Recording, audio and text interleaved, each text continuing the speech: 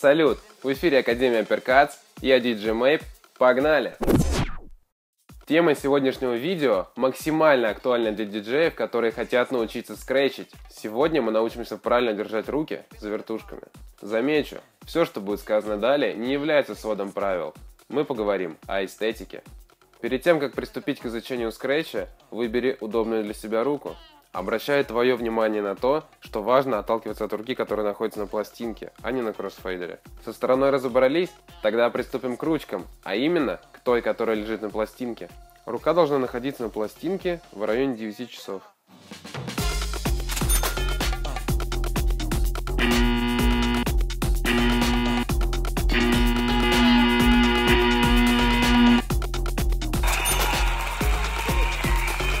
Усвоил? Переходим к другой руке. Когда держишь кроссфейдер, не облокачивайся пальцами на пульт. И не делай, образно говоря, куриное крылышко.